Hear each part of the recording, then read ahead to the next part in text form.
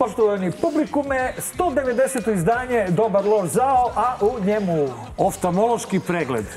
veliko slavlje na trgovima koje se desilo povodom priznanja Aleksandra Vučića, mala blokada koja je bila u subotu. U oči me gledaj, neću, neću i neću. A u stvari, hoću, hoću i ako treba još nešto, hoću. Aleksandar Vučić 8. decembra. Opa bato. Opa, pa to počeo američki pritisak sankcijama, pa počeli smo od Zvonka Veselinovića, a stići ćemo do Andreja nema veze. Kako Krstonijević javlja.